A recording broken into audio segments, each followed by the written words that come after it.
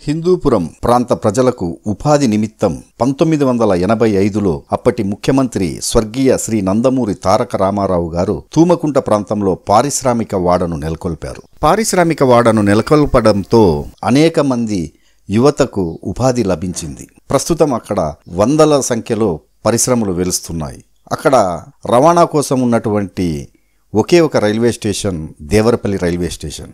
పంతొమ్మిది వందల ఎనభై ఐదులో కేవలం ఒకే ఒక గదితో ఉన్న రైల్వే స్టేషన్ ప్రస్తుతం ఆధునిక హంగులు సంతరించుకొని ప్రయాణికులకు సేవలందిస్తుంది. ఈ యొక్క రైల్వే స్టేషన్ యొక్క విశేషాలు చూద్దాం.